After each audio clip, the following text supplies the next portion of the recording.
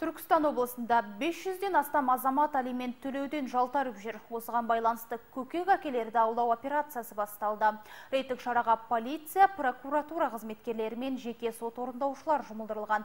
Тақырыпты тілші тарқатады. 087 автокөлігі жүргізуші ұялы телефонмен сөйлескен автоураған көлігі тек жол ережесін бұзғандарды ғана емес салық төлемей алименттен жалтырған жүргізушілерді бірден анықтайды. Бауыр еті баласынан безгендер құрықталып тәртіптік шараға тартылады. Түркістан қаласының өзінде 1303 алимент өндіру туралы атқару құжаты тіркелген. Арнайы шарадан кейін 192 адам алиментті өз еркімен төлеп 150 борышкер алимент төлеуден қашып жүр. Аталған рейд апта сайын жүргізіліп осы рейд бойынша ақпараттық жүйеге енгізілген борышкерлердің жсн тіркеуі арқылы тексеріліп егер де оның атында берешек төлемдері болса сол сәтте оны алимент төлемдерін және де әкімшілік айыппұлдар төлеуге нақты шаралар қолданылатынын хабарлаймын.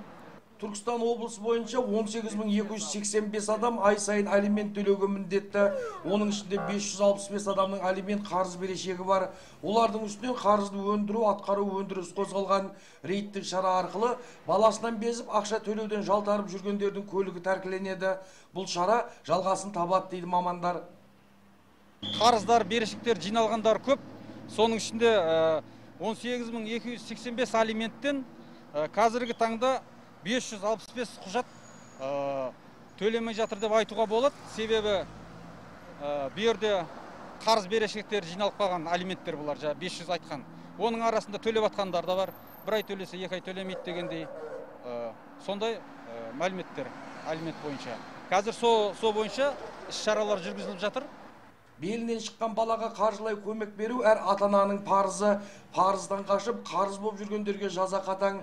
Қаржы төлеуден қашқақтағандарға 5 айлық көрсеткіш көлемінде айыппұл салынады. Немесе 5 күнге қамауға алынады.